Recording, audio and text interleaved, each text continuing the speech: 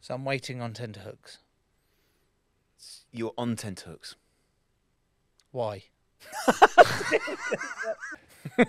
Sarah's here. She's our guest today, and her, her her profession is a museum director. Yes. What? yes, yes, Yeah. it is. Hello, Sarah. Hello, Welcome. Joe. Thank you very much Yeah, you you said thank you quite early. for welcoming me. Oh, Thank you good, for welcoming me. Good. Yeah. Just clarifying that. Let's Get the niceties. Yeah, Tom done. usually Right. fucks it up. At, Oh, thanks very much. What museum, Sarah? Uh, the museum is the De Morgan Foundation, so we're a tiny independent charity that owns a collection of Victorian artworks, some of which I've brought for you to have a look at Oh, today. hello. what? Hang on. You took stuff out of your museum I did. and you've brought it with. Yes. Well, I think we should start there, shouldn't we, Tom? I think that's a good place. Let's do it. So, uh, so it's the De Morgan. Yep. Is that all one word? That's two words D E M O R G A N. Oh, so De Morgan. De Morgan. Oh, okay. Who is De Morgan?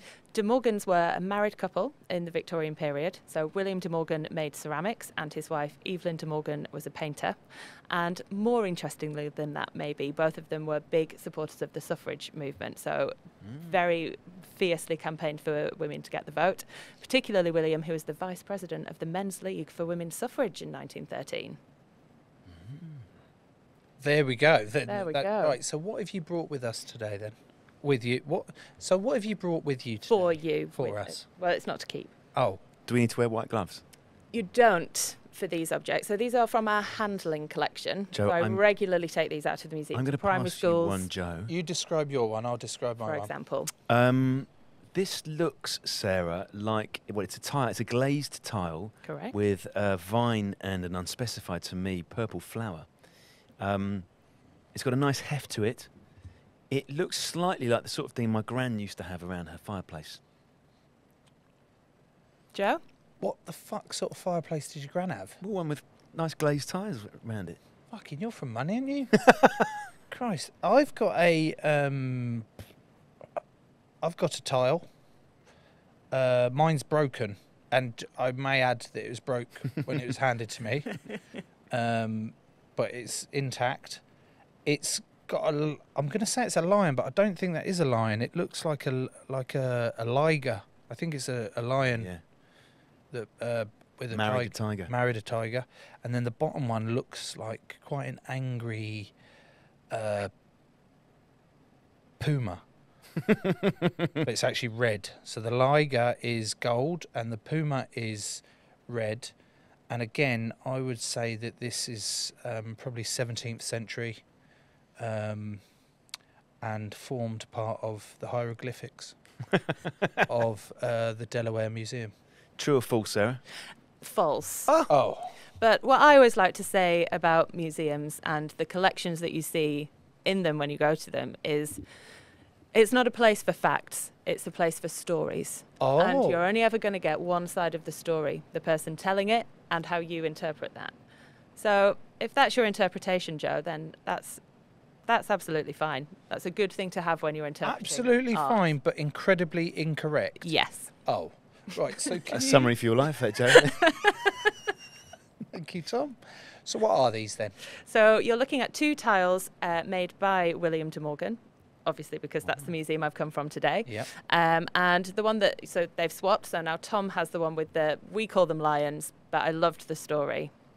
Uh, and Joe's got the floral one. So William de Morgan believed that really by making things by hand and decorating them and putting some beauty into people's homes, he could maybe do his little bit in making Victorian Britain a little bit more beautiful. So whilst everything was being industrialized and put through factories and the systems were coming in so that everything was machine made, actually to have something handmade that was beautiful in your home might inspire something in you beyond I like the the cut of this dull man's city jib, around it. Mr. De Morgan. Sounds wonderful. We're going to put, Joe, by the way, um, we're going to put pictures of this on our socials, aren't we? So people can see the tiles that we're referring to. Are we? I hope so, yeah. Don't look so scared. It's not a bad thing. Well, uh, how are you putting them on there then? We're just going to post them. I wouldn't trust Royal Mail, mate. Not at the minute. Um, Sarah, I'd like to ask a question. Is there um, much um, danger that if Joe and I were to break either of these, we'd have to go to jail? Yeah, definitely. Are they valuable? Um, they are. I'm going to give them back to you before I ask the obvious follow-up question. Having released the tiles, how much are those tiles worth, Sarah? So those are objects from our handling collection, like I just mentioned. So we take these out to people who can't physically get to our museum sites so that we're making sure we can be as accessible as possible. So I take them to primary schools a lot, which is why I thought we might just be okay today. Um, Ah, no? I see. I see what we're doing. We're going with a passive aggressive appro- approach. I, I quite like it. Good. Yeah. Um, so these tiles from yeah, like our handling collection. So I actually bought these two off eBay for the collection for about hundred pounds each. So you can get De Morgan tiles quite Oh, cheaply. okay. Um, lots of other artworks in lots of other museums, as you can imagine, have a much higher financial value than that. But it's not really something that we talk about in the cultural sector, given that the cultural and historic value of objects is so much more than the financial one. What is a museum? A fantastic question. I think uh, it's very hard and very sort of the easy answer to that question is a museum is an institution or a place that holds collections for the public benefit. So that's the party line. But there are museums across the country and the world that interpret that and work within that in very, very different ways.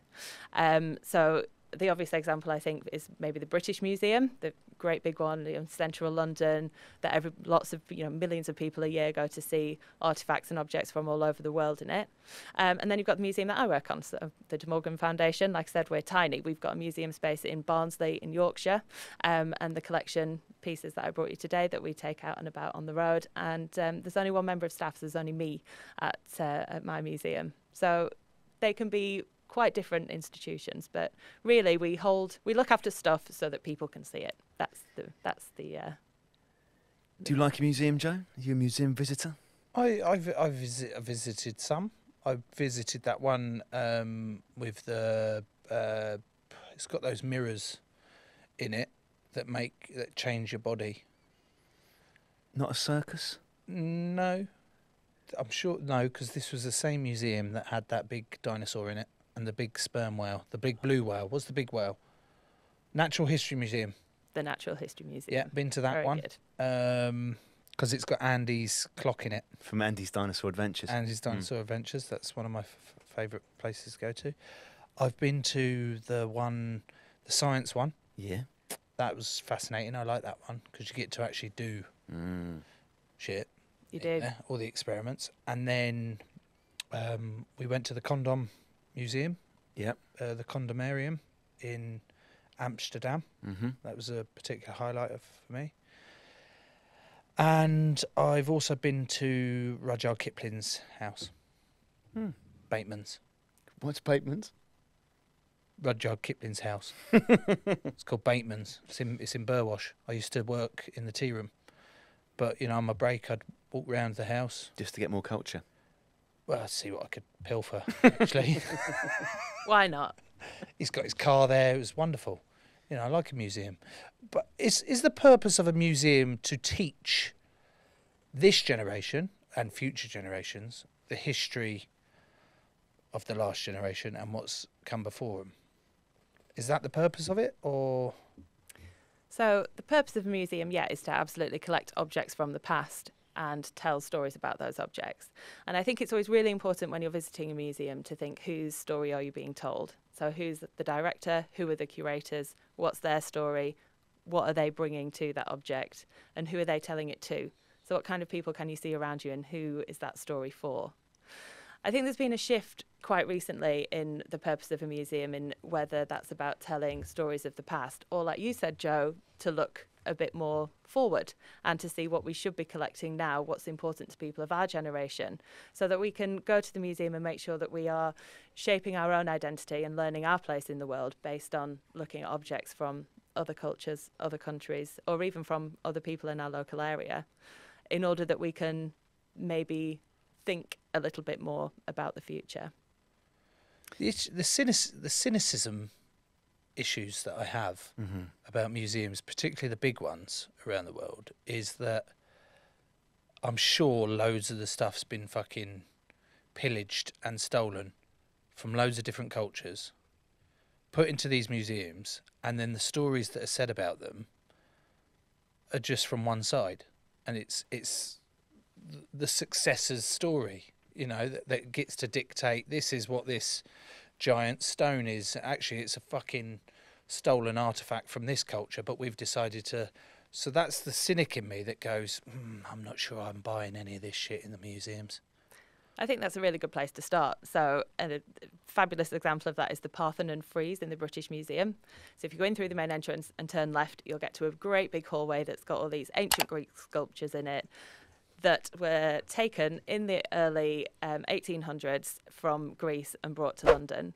Um, the circumstances that surrounded that are a bit dodgy. Um, so they, as you, as you would imagine, uh, so the seventh Earl of Elgin actually bought them, and he claims that he was given an official decree by the Ottomans, who actually owned Greece at the time, to take this stuff back to London. Fishy. So uh, officially, it's never been found. Hasten to add. And then after he brought them back to Britain, they were sold to the British Museum in 1816. So they officially entered the British Museum's collection. In 1832, Greece became an independent state, and since 1832, they've been asking for them back. And the reason that they're not back is that there is a piece of legislation in this country which affects the national museums. So the big ones, Joe's mentioned the Natural History Museum. We're talking about the British Museum, which prevents them getting taking anything out of the collection. So that's an that's that's the law. So that's it's a tricky issue, and it'd be interesting to know what you both think about where in the world these ancient Greek sculptures should be. I'm wondering, Joe, because of Britain's colonial past, we must have pilfered more than we've been pilfered. Does that make sense? Hundred percent. We fucking nicked everything, mate. Hmm.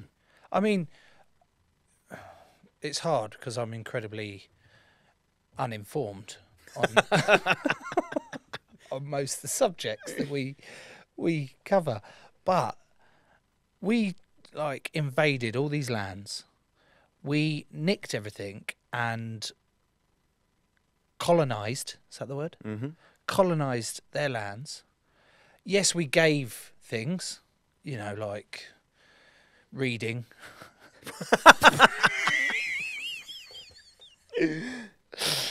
Writing.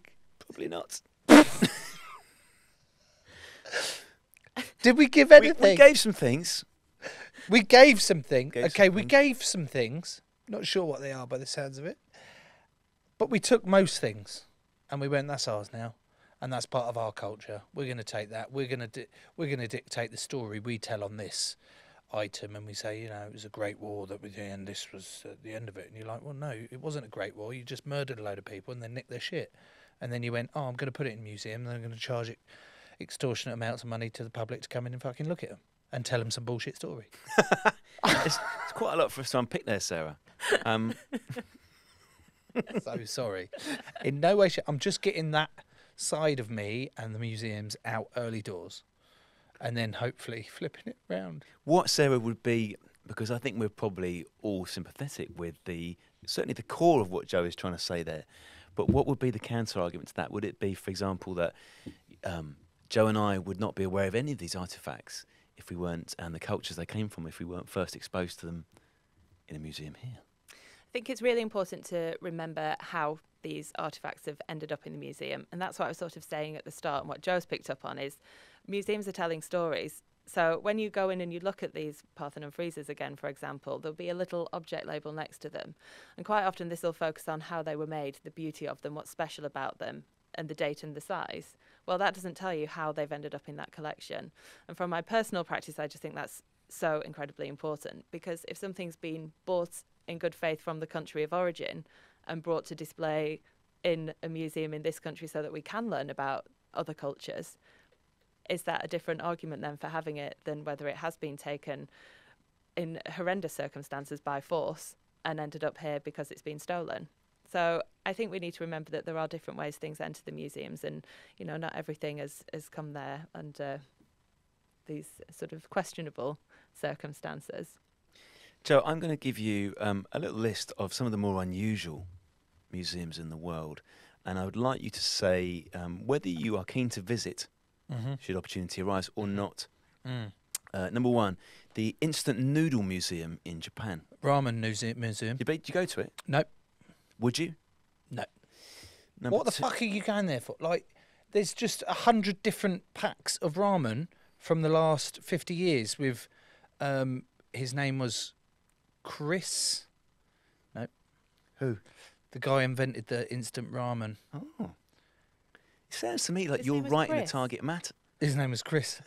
Sounds unlikely for a noodle maker, doesn't it? It sounds Hey, like you're writing don't a jump- target market. See, that's what I mean. The, Yeah. the story that's being told is Story. confusing. It So you don't want to go Uh, do I get ramen? in the canteen afterwards? Yes, I'll but it's get- instant. okay. uh, Yeah, I'll give it a go. Number two, the Tap Water Museum in Beijing. Sounds like the most fucking pointless thing in the whole entire world. Bear in mind, tap water in Beijing isn't even safe to drink. True.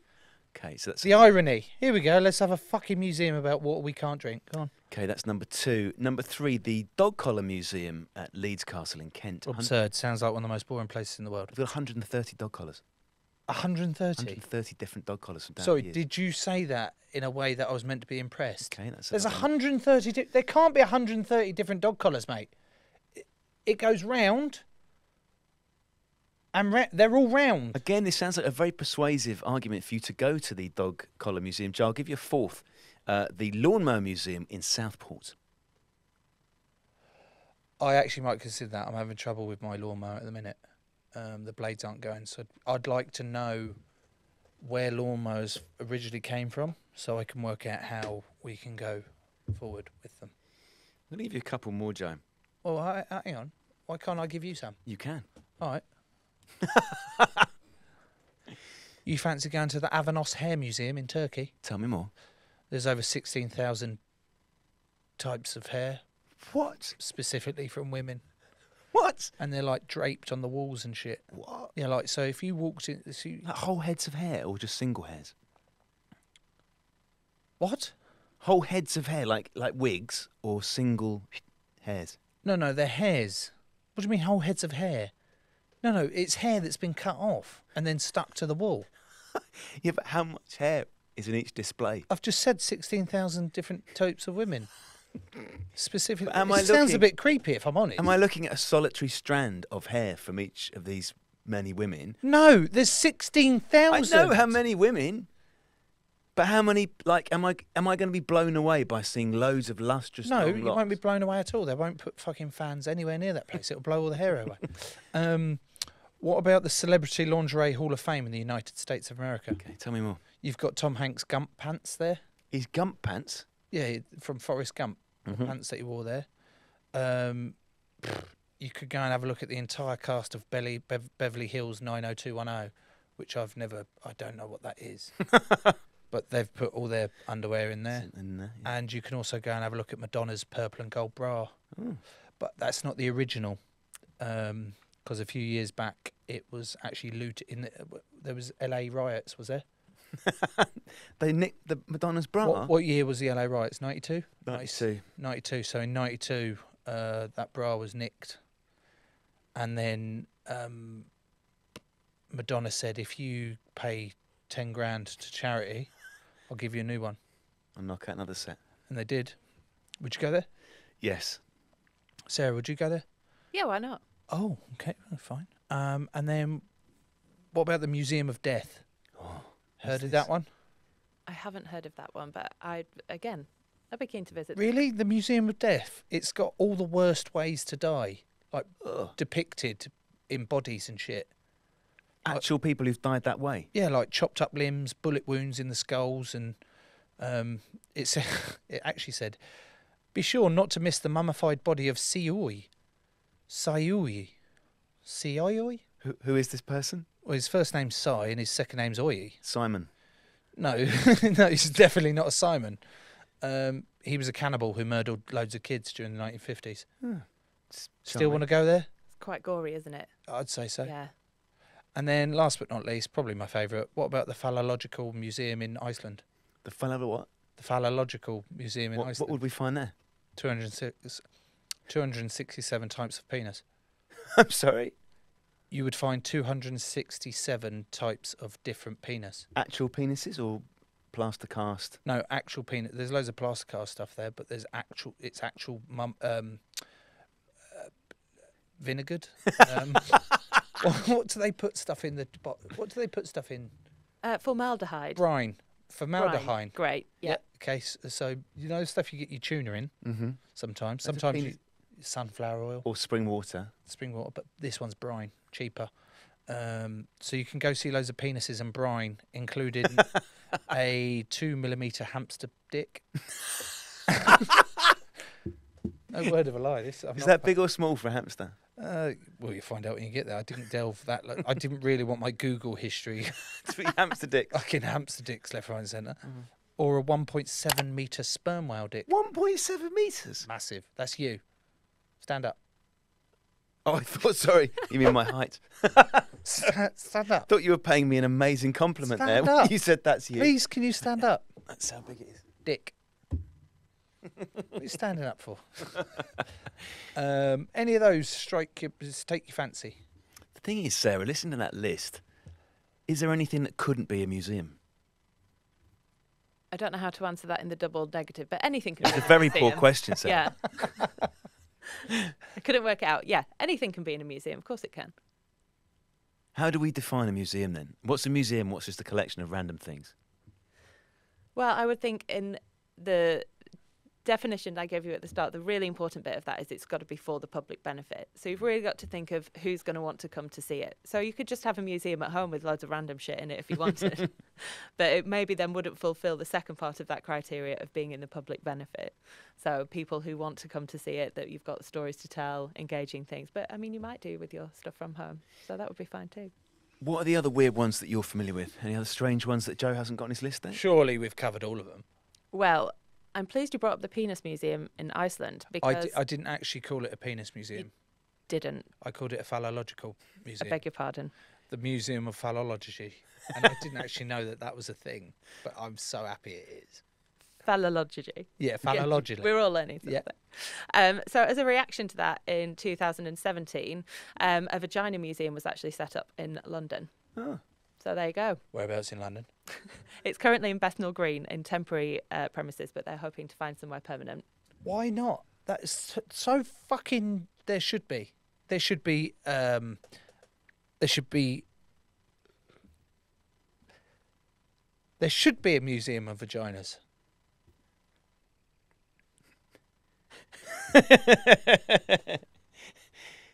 Is there a, a follow up point? Or There should be a, a museum of whatever the fuck you want there to be. Well, do you know, Joe? because I've been to a museum in Hobart, in Tasmania, Oh yeah, one of my Called- favourite holiday destinations. called MONA. And there is something um, there which is called the Great Wall of Vaginas. And it's 151 plaster casts of actual vaginas. He's having a think about that one. Um, it's also. Are they all Jo- different? Well, I think they're. Re- I think they're real vaginas that have had plaster casts made of them. So I'd say yes. So it, there's a. cl- Did you say it's a climbing wall? Did you say? I missed that first, first bit. What did you... Is it? Sorry.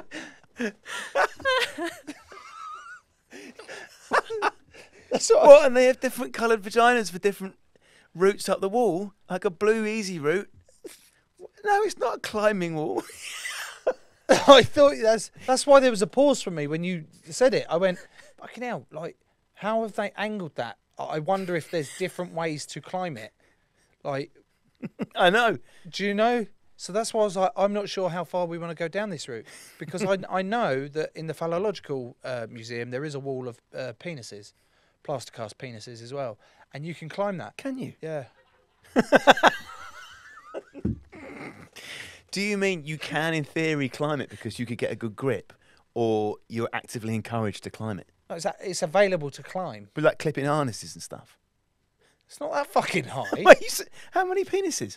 You get up that 2.7 sperm whale one. There you Right, go. yeah. That'd be quite high, wouldn't it? That's a Yeah, good but- start. Fucking hell, you can have you got a job on your hands climbing that. Could you, do you think you get a grip on the hamster one? I don't think they use that. I don't think. I just I think you're out of order. It's called, Joe, the Great Wall of Vaginas. It does have a, another name, which is so rude. I'm simply going to pass you my piece of paper. That's the official name for the artwork. Fuck off. No, it is. It's disgusting. I would never use language like that. Okay. Do you want me to read these next bits? I can't read your writing. Secret. Well, these are a couple of favourite uh, museums of mine, Sarah. Oh yeah. Uh, so we're in Kennington today in, in our Joe Marler Show studio. These are in central London, the John Soane Yep. Museum. Tell us a little bit more about that. It's quite a famous secret museum, isn't it? Yeah, if you haven't been, definitely look it up and go. Um, so Sir John Soane was an architect, and he made this huge collection of lots of antiquities um, and uh, paintings. And in his old house, which is, I can't quite, is it near Holborn? It's near Holborn. that Holborn, way, yeah. yeah. Um, he basically rammed it absolutely full of all of his amazing treasures and collections. And so when you walk in there now, it's sort of everything is on display. So you walk into the basement and you look up, and there's sort of a sarcophagus in front of you, and then oil paintings on the wall, and everything's just in there in this sort of mental hodgepodge of um, am- amazing, amazing artifacts. Why do we why do we frown upon hoarders in these in these worlds then? Do you know what I mean? Right, this day and age, like think of Brian from Afterlife. Mm. You know, always looked at as a bit of a fucking weirdo. They're like, oh god, look at this hoarder. He's got stacks and stacks of shit in his house. This John So fellow you've just described, he was just a rich hoarder, A rich hoarder. and yeah, now you want me to go back to his house with a sarcophagus. What's he got a dead body for in his house? is it his? It's not. Oh, who's who? Who is it? I don't know. Oh, I'm afraid. and he's just got. So he's a rich hoarder, and that's a secret museum to go to. This was a long time ago. Oh, So he was around in, uh, I think, the late 1700s. So it's been, his collection's then been on display as a museum for quite a long time. If you were to go to this museum, and it's a free one, Joe, which is a nice touch, yeah, it's nice. you can then walk across the square to the other side of the square, and there's something called the Hunterian Museum, which would blow your mind. Yeah. What's that one then, Sarah? Yeah, another good one. Um, so I think the Hunterian is a museum that has lots of human specimens on display. Is What, like real life one? so it's the Museum of the Royal College of Surgeons. So it's got a lot of stuff that will blow your mind in jars. What, pro- proper body parts? Proper, yeah. Oh my god, it's like uh, I, I mean, it's weird, but it was one of my favourite shows growing up. Probably explains a lot of why I have issues now. Um, was that German uh, doctor The plastination guy. slightly illegal, but he used to do a, live one on Channel Four Mm. on on the dead bodies Yeah. and how he would then make them into Bodyworks. Bodyworks Yeah. is the one, and fuck, that fascinates the fuck out of me. That is so cool. But the Hunterian, what's it called? Hunterian. Hunterian, yeah. that sounds to me it would be a little bit too um, sideshow Bob. No, who's the guy from Silence of the Lambs? Anthony Billy Hopkins. Billy Dust. No, Billy Bob. he likes skin. Oh yes, What's his name? I know the one you mean.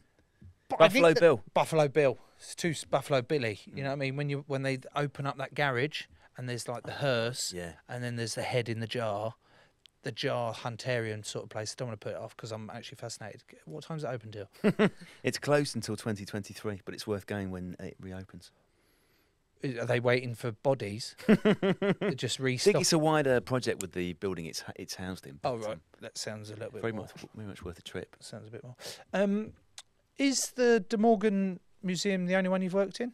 It's not. Oh, what other ones have you been at? So I've been at the De Morgan now for about five years, and before that I was at the British Library, then the National Gallery, and then one of my favourite museums, which is Helmshore Mill Textile Museum um, in Rochdale, just near Manchester.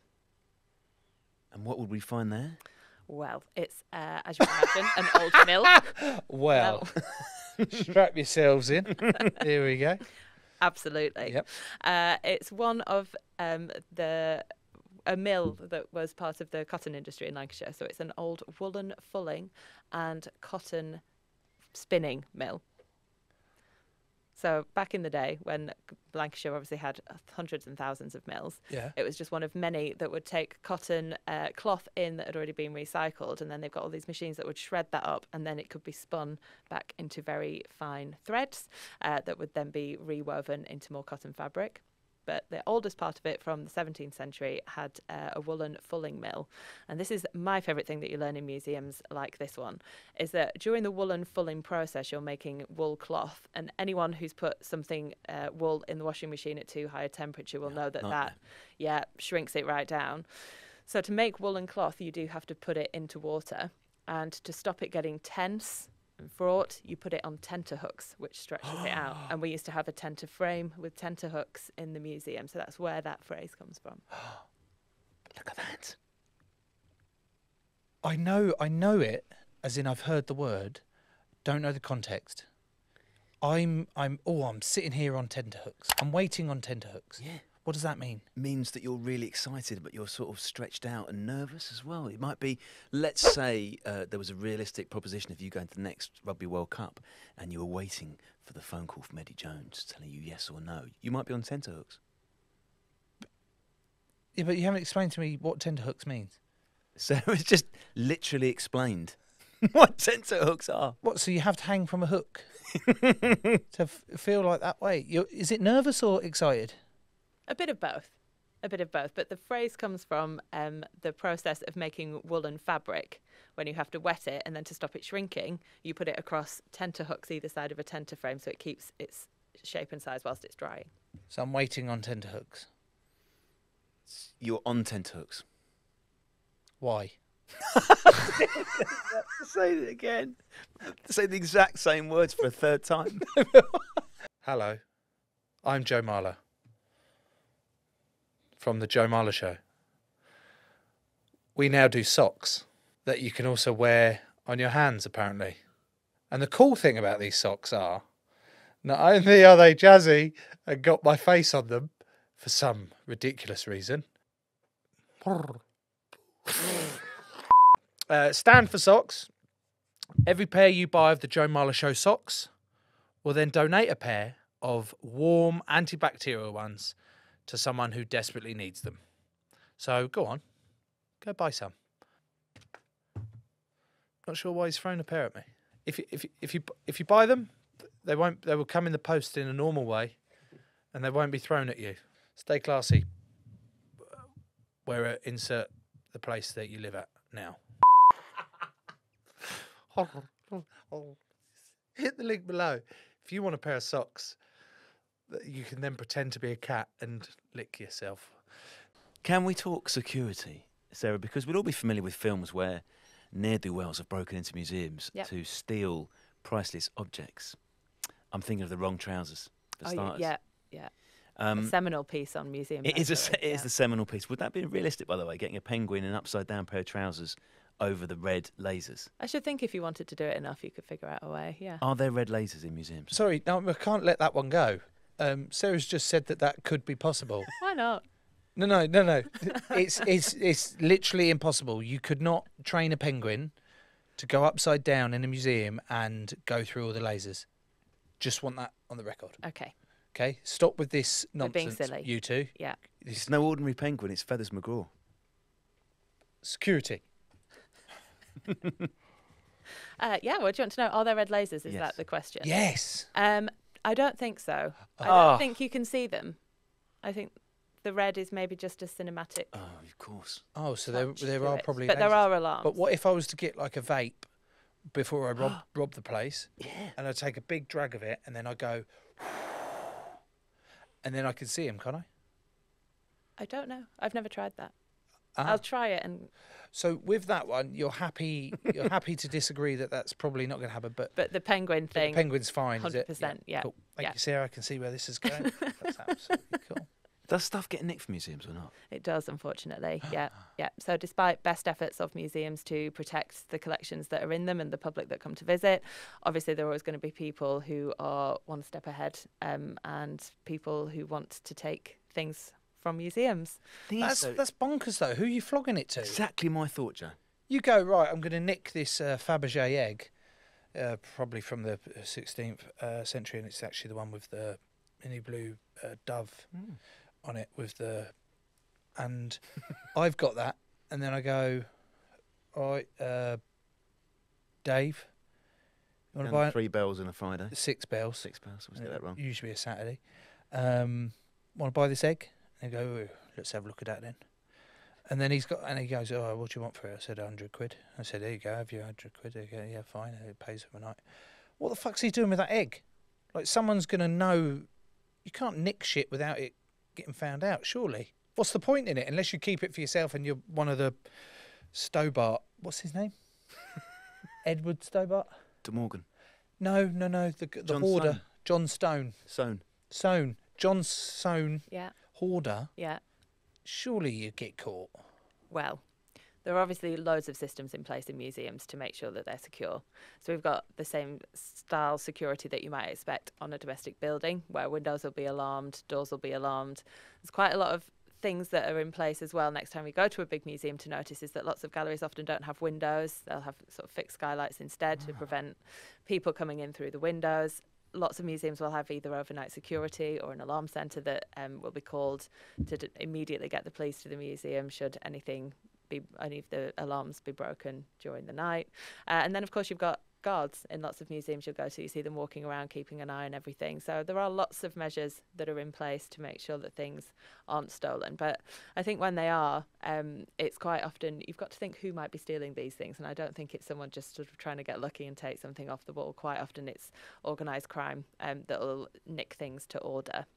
So one uh, to look up if uh, if anyone's sort of very interested is at Dulwich Picture Gallery. Um, a couple of years ago now, there was an exhibition of paintings by a Dutch artist called Rembrandt. Um, very muddy looking One of my portraits. favourites. Yeah.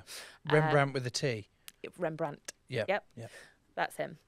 Um, and so these pictures were actually stolen from um, the gallery despite best efforts of the museum that had been put in place to protect them. But they only got as far as just immediately outside when they were caught by the police and those objects were taken back. So do we think? So when you say that had been stolen to order, I would Some- imagine so. I don't know. shady sure. multimillionaire in their massive mansion somewhere has thought, I fancy a Rembrandt of my own. They've contacted someone and they've said, that's the Rembrandt I want. Bring it to me. Yeah. Have you seen Mr. Bean? Which one? The first one, the film, Mm. not the series. The first Mr. Bean film. When he's, um, That's not the one in France. That's number two, is it? I think that's Mr. Bean goes on, goes on holiday. Yeah. That's when he loses the kid, Yes. or he doesn't lose him. He kidnaps him. Yeah. So he, and actually, uh, talking of that one, you know when he's doing some busking. Mm-hmm. Remember that one in the in the market, and he puts and he does the miming to that opera song. Did you cry? No. So I cried at that.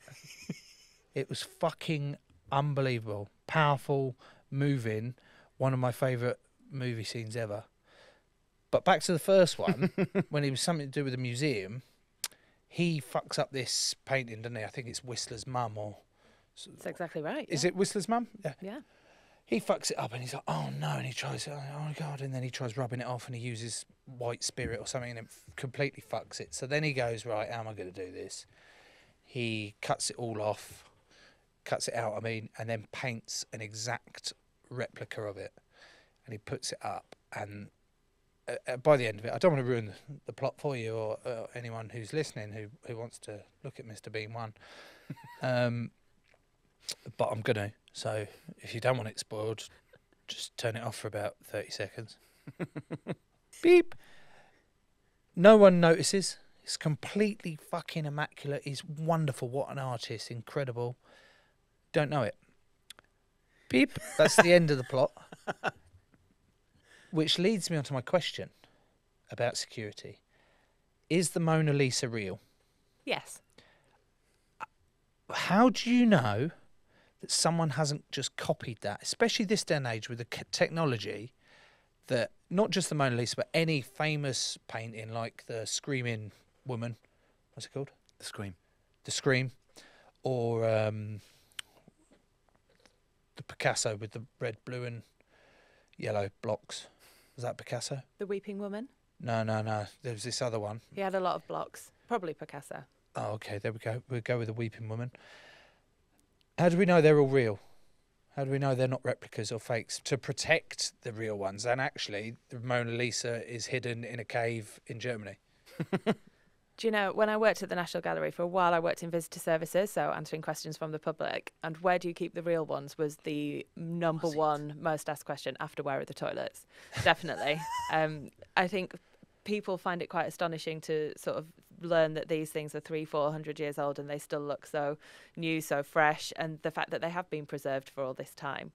But when things come into museum's collection, someone like a curator, um, so someone like myself, usually will do a full provenance check on the objects. That means that they have to work out exactly where it's from, which bona fide sales it's been through to get to where it is, and you you have to trace it all the way. Almost directly back to the artist who painted it, and if we're talking about paintings, um, to make sure that what enters the collection is absolutely what someone is claiming for it to be. Following on from that, there's a team of curators and conservators who actually, you know, touch up the pictures or, or get them looking their best for display. And it never really will go out of anybody's sight. There's always someone and a, a paper trail behind it when objects get moved around museums, um, even if that's just from one space on the wall to the space next to it, to show that that's happened. When you were handling those unbelievably expensive and culturally important items, Sarah, did you ever shit yourself? I mean, yeah, yeah. It's uh, it's a scary thing to do to to get hold of something and to you know check its condition, say, or to move it across galleries. But quite often you won't do that on your own. Especially, you know, we've had the tiles today. They're, they're you'd obviously only need one person for that. But to move an enormous artwork, then obviously you'd need a team of people to do that for you. Joe, if you were to attempt to steal something, because let's say, what's your favourite painting? What would you steal? Uh, my favourite painting, Mm. probably the one of Cozy in my kitchen. Okay, I'm thinking maybe one in a museum. Oh, um, yeah, uh, the Louvre. I went to the Louvre, Louvre, with the uh, with the paintings, and I quite liked this one of uh, Napoleon. Okay. It's fucking giant one. Obviously, he's not. He wasn't giant, but he was like massive, How big? like big. Yeah. Yeah. Like snooker table big or? Oh yeah, as big as that. It was fucking ginormous. They've got Like- some big stuff. there, Oh my they? god, yeah, one of them. Or what's that battle one? There's like these horses like over there, and then there's like other horses at that one. We'll go with that one, the Battle of Hastings.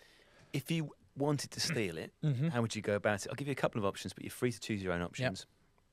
You could get through the lasers, which may or may not be red, Yeah, like Catherine Zeta-Jones. I think they were green. Okay, green Yeah. ones.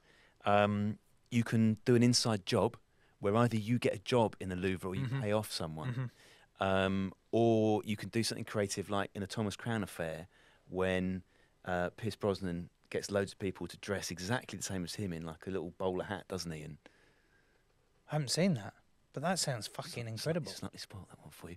Which You've option, got to give spoiler warnings, mate. which option are you choosing? Uh, I quite like the thought of bowling about in a like hat. And did he have an umbrella? I think so. I'm just thinking of that sort of like Sarah's like, why the fuck are you looking at me? Thomas Crown affair. You having a laugh? Um,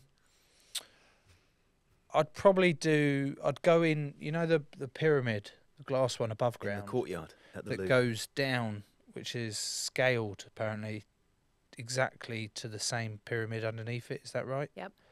Like it's to scale, which is fucking bonkers. I love the thought of that. I I actually, the more we've spoken about museums, the more I I fucking love learning shit about the past, even if there is a cynical side to me that goes, oh, I don't believe it. But I think it's important to have a little bit of that. I just love it. Even you talking about the cotton and that sort of thing. I'm like, oh my god, this is so cool. This is like what they see. I just want to go to all the fucking museums of the world now. I would cut a hole in one of those pyramid glasses, glass pyramid. One of those little devices. yeah, so it goes. And you've got some suckers on the glass, it doesn't fall.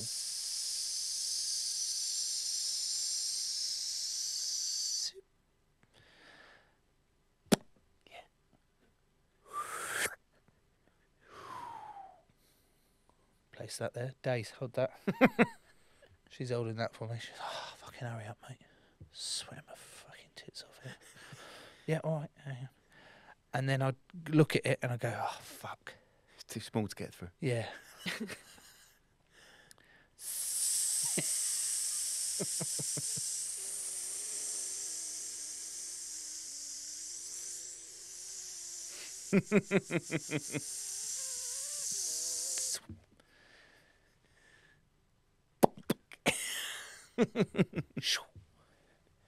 Here, hold that, Jasper. I've had to bring the family along. Yeah. Yeah, we've got no babysitter. If you brought Jasper, why Yeah. not just send him through the original hole? Fuck. Hang on. Pass that here, Days. Shh. you, here, Days. You bring that no nails.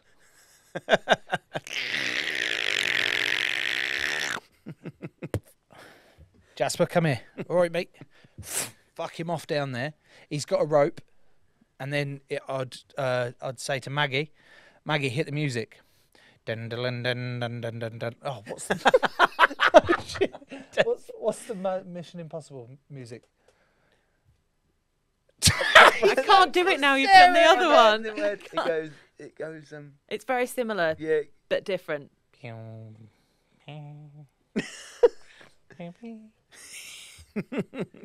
I had it in my head about. Gonna need it for the joke. Yeah, and then what I do? Maggie, hit it. She's like, okay. Dum dum dum dum Dum, dum, dum, dum, dum, dum, dum, dum, dum dum. dum, dum, Jas- dum, Jasper. Jasper, wait, wait, wait. Shh. And then I'd stop him just before the ground, So he hovers. Nice. and then I'd say, Felix, and because he's at the camp, Felix, get that vape. so then he takes a massive drag, and then he's down the Just hole. remind me how old Felix is now. He's three. But, And okay. so he fucks all this vape smoke down there so Jasper can see all the lasers. Jasper's uh, he's a black belt in Taekwondo and Capoeira. Um, so he's dancing all around that lot and uh, Perfect. goes over to the uh, Mona Lisa. Am I nicking that one? Up to you. Yep, do what we want. We go to the Mona Lisa. We go to the. It's the fucking world's smallest picture as well, It's isn't not it? big. I was I, I couldn't, uh, as a kid you you know all about this Mona Lisa picture. You see it everywhere. You're taught like this. Who who, who painted it? Da Vinci. You're taught Da Vinci painted it, and okay, but then so you just presume it's this giant picture. Were you disappointed? I was I disappointed think because it's a letdown, isn't it, when you get there? well, mainly because you can't fucking get to the front. No. It's like thousands of people in the room, all with their phones up, and you go. Mm. Should have just googled that. Would have been. it's not quite the same. I was hoping Not it'd be empty and Yeah. you just sit on that that little uh, seat By in front yourself. of it and you look at it and you go, "Huh, is that a man or a woman?" And then you go through the story. and you go, did he mean to paint it so masculine, or actually is it th- how the eye of the beholder? Anyway, Felix has got that za- and he's nicked it in there. Then I've chucked down the uh, glass cutter. Mm-hmm. He's then cut out the thing. It is behind 12 inches of bulletproof glass. What? So you might need some different equipment. Right. Valuable information. That Yeah, is really important. Yeah. yeah. Days, chuck us a gun. oh fuck! You said it's bulletproof. Here, Days. I mean, there's our Pixie's with us as well. Pixie, chuck us that RPG, will you? So then I fuck off to this, this Why don't- RPG down to you Jasper. get, why don't you get her to pass your screwdriver and just unscrew it where it's screwed? The glass is screwed in. It's not screwed in. It's uh, sealed within the box. So he's then shot this Mona Lisa up. Security are here by this time as well. No, potentially the because we the night before put on a Did big uh, dinner Yeah, of which we poisoned their food. fine. So As that that part of Paris dead. Dead. and th- so he's shot it. He's op- broken the glass that he said was unbreakable, unbreakable, impenetrable, like that word, and um, picks it off the wall, and then he looks at it, and it's a fake because Rowan Atkinson had been there about an hour Oh, before, replaced to it, and uh, then the, then the other police turned up, got him. They they arrest him. They shop. Here, Jasper, Jasper, you are under arrest for uh, killing all of the officers yesterday, and now you blow up uh, the the glass. And we then leave, and we go. Paris has him now.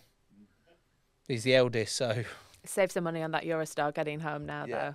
So, although Nice. I'm sorry it was a little bit uh, long winded, but we've been planning it for a while and I just wanted to let you know. It's a foolproof plan. Don't think your mic's working. Oh, isn't it? Can you speak into it? Yes. Why did it go off? It did go off, didn't it? Yeah. Mm. Yeah, it did go. Spooky. like ghosts. Like ghosts at night. You know, that's when they come out. Mm.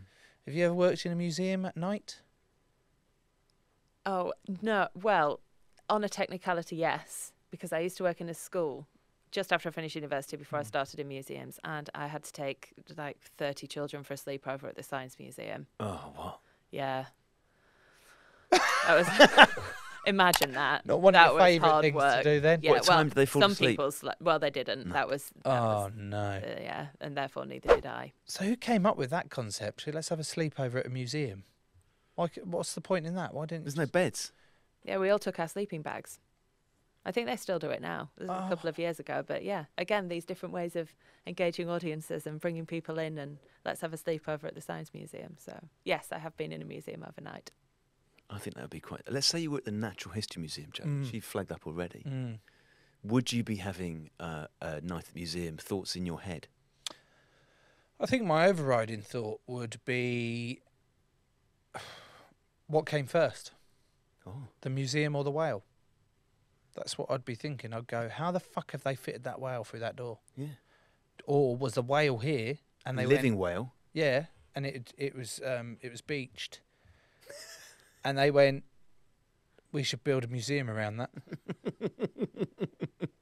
Oh, were you asking? Yeah, sorry, I'm asking Oh. the museum expert actually. Did they? Is that what they did? Uh, no, so the museum was there before the whale Okay, went into it. okay, but yeah. I look at all the doorways and I'm like, ha- they haven't fitted that whale through those doors. There's no doors bi- big enough for that to fit. So they made it in there, did they? Yeah, so the whale is obviously fossilised bones and was there to replace Dippy the dinosaur. If you ever went when Mm. Dippy the dinosaur Hasn't Dippy come back though? Dippy's back now. Dippy's back. Where did Dippy go? Dippy went on a little tour of lots of museums around the country. So if you, for example, live in Dorset and you can't get up to London, then Dippy came to you. What do we know about Dorset? Uh, Cliffs. No, it's also known as the Jurassic Coast. and why? Because they filmed Jurassic Park there. No, they didn't. You're an idiot. Yes, that was just one of the many museums that Dippy went on tour to. But um, yeah, obviously these two fossilized skeletons are enormous and they were constructed in the room. Um, but to do something like take Dippy on tour, take it down and rebuild it, obviously it's a lot of bones that all fit together on um, a sort of a, a mount or a structure. Next time we go, you'll look at it, you can see that piece of equipment there holding all of that together so we can stand under it and look at it. Um, but each individual piece of the dinosaur skeleton or of the whale skeleton will be registered on systems. It will have reports that go against it so that we can look at the condition of it. We can check that nothing changes between the different venues so that we're always preserving that history. Um, and yeah, lots of photographs. It's like putting in a giant jigsaw puzzle back together. I've just had a thought as well, Sarah. Dangerous.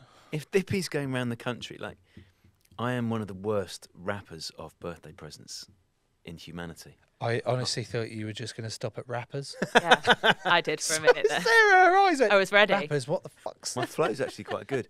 But if you were sending Dippy around the country, you can't just whack him in some newspaper and use a bit of sellotape as I would. You can't do that for a birthday present. Maybe a bit of magazine. How are you? colour. Uh, uh, but how seriously? How are you moving him? You surely a shitload of bubble wrap.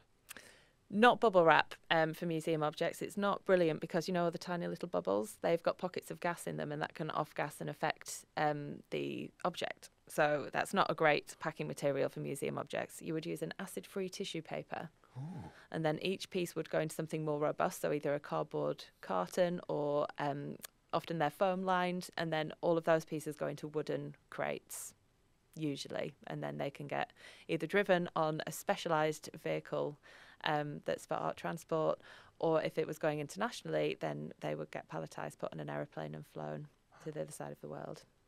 It's pretty impressive, that isn't it? It's They super impressive. so much care over that. I'd actually like to do that. Would you? I'd like to be a uh, Packer. an artifact packer because that would be so much fun. Quite a lot of stationery involved as well, isn't there? You know, got to label that bit. Yeah. Got to wrap that bit. You do get to use a tape dispenser. They're always fun, aren't they? Superb. Yeah. That's the one. Yeah, getting good at that, am I? Cheers, boy. Um, so I recently bought uh, my daughter a metal detector. Great. You know the ones that you see down the beach and that lot. She wants she she wants to go metal detecting.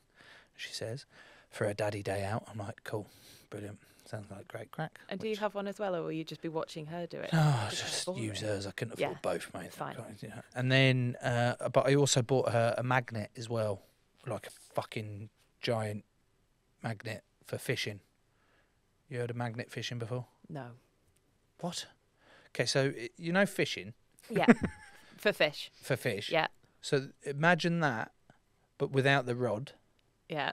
So it's just a rope, and on the end of that rope is a magnet about that big, size of my fist. A side side That's- plate.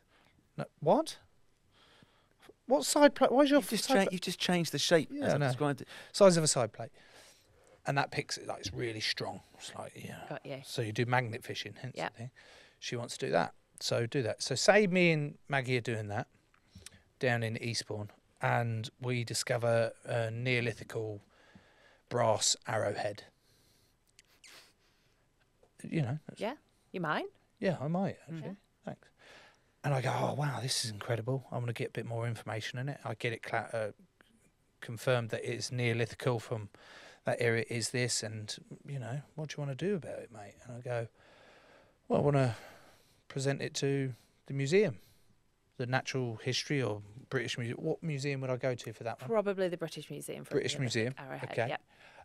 Are you buying that off me? so if you're the British Museum, will you pay me to donate that, or is it a donation? So there's actually uh, another piece of legislation in place in this country called the Treasure Act, and that actually means that you are not going to be able to be entitled to any money from that in total. So depending on how much it's worth, you and the landowner will have to share that because Who owns the beach? who owns the beach? You'd have to find that out. Does the Queen own the beach? Why don't you just say you found it in your back garden? Because then you own it. All right, Double your money. I found it in my garden. No, I don't mean to Sarah. Oh, I mean to, to the museum. Sarah already knows what I already where know we've it's from actually found it beach. on the beach. She Yeah. was listening. so that Treasure Act. Yeah. So the, you, the British Museum, And if it's deemed important enough, it means that it automatically has to go to um, one of the museums. uh, what do you mean deemed important enough? Like I'm offering you my Neolithic arrowhead. Yeah. you're not offering me anything in return. so how's that work as as, as a trade off? Like, just give something. Offer me. What about So a if it year's? was worth something, then, like I say, you and the landowner would have to share the money. okay, I'm both. So you actually pay me for it.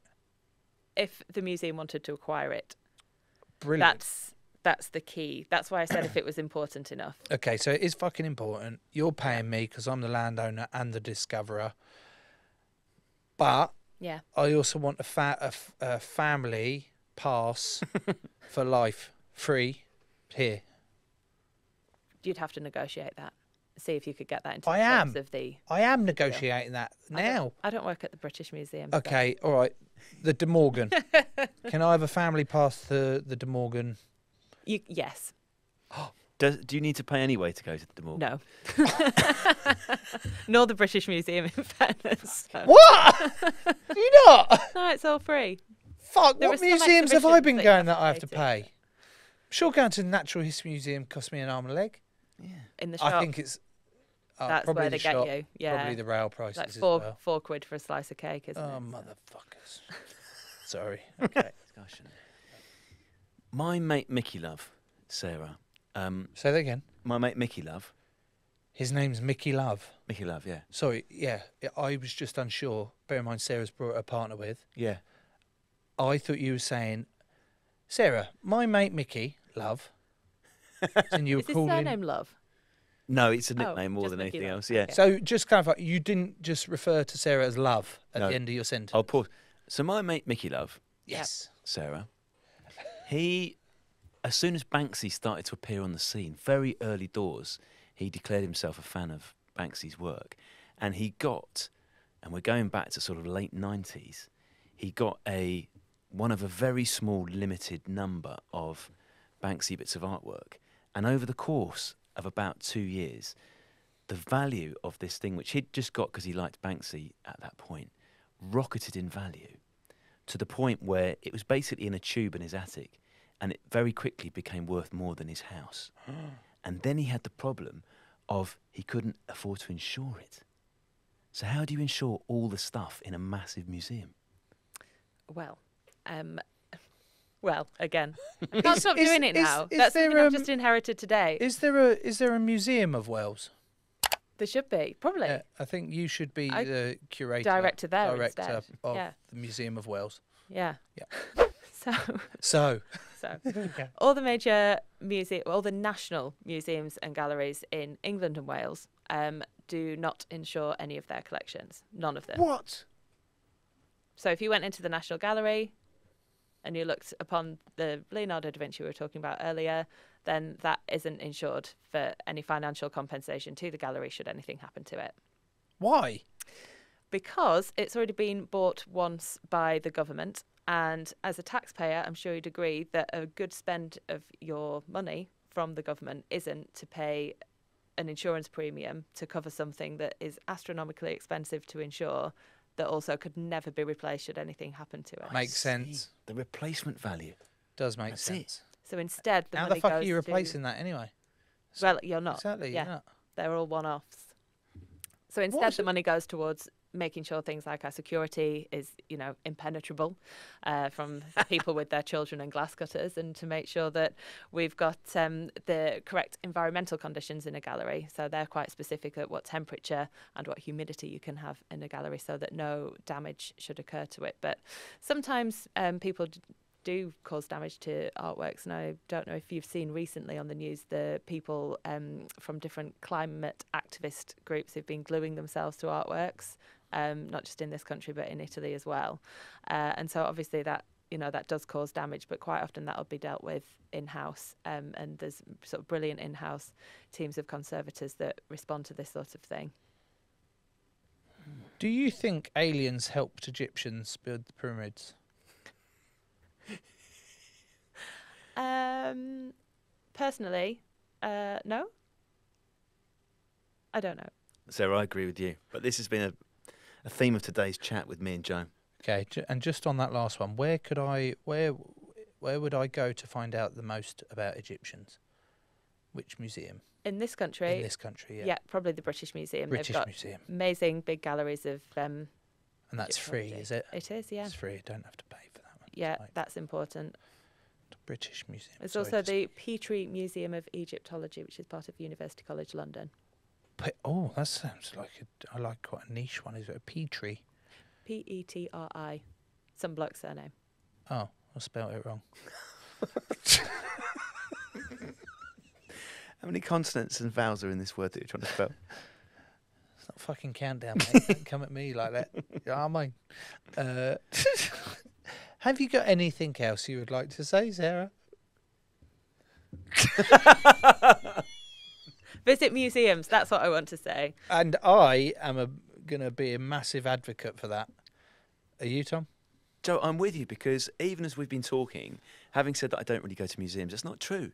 I've just remembered the last time I went to Liverpool, I went to the Beatles Museum, which was amazing, and then Like in the what Albert do- Dock, like dung. yeah, all sorts of Beatles in there, and then next to it is a is a museum about slavery because obviously slavery was a really important part of Liverpool's past, and both of them were mind blowing, totally different subjects, but mind blowing. So, Joe, I'm in agreement. More museums. Yeah, I think we should go to museums more. Let's do it. Okay. Let's find out, or at least open up our minds a bit more Hmm. on what happened in the past to then help us shape our future. It's almost like I've You're so pleased with that phrase. I don't know where I've got that from, but I've nicked it. That's was quite Jerry Springer. Sarah, thank you so much. Honestly, this one I say I do say it a lot, but thank you especially to you for coming on and putting up with this fucking nonsense. I love it. I love a bit of because nonsense. we've really enjoyed having you on and talking all things museums. So thank you. Thank you. Thanks for having me. Thanks, Sarah.